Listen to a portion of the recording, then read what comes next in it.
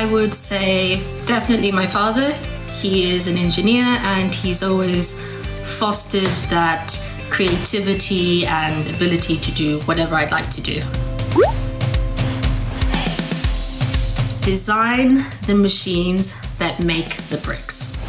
I enable element developers through engineering tools. I qualify all the decorations that uh, comes out every year with my team.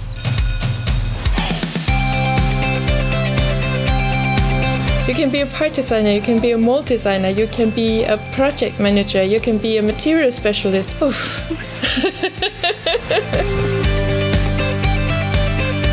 Best advice for upcoming female engineers is to just do it, keep focused. You are as amazing and as brilliant as all of your other classmates, and put in the work. If it's truly your passion, then go for it. There's no stopping you. There's always going to be people on the side that are going to be there to help you and support you. So, absolutely do the thing.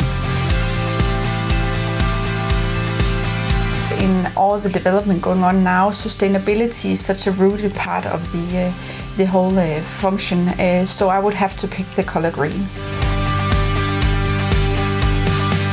First and foremost, there we're making an awesome product, and it's it's really a company that are doing so many great things. It's a company that really thinks of you as a whole person and takes care of you.